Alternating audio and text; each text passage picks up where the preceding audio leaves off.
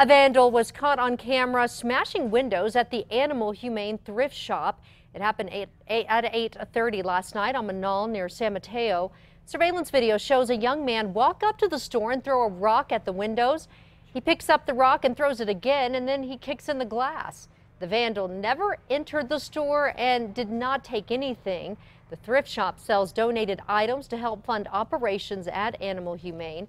It raises more than 600,000 for homeless pets every year. We don't understand why somebody would want to do this, particularly to a thrift store that is there to help fund, you know, saving cats and dogs in our community.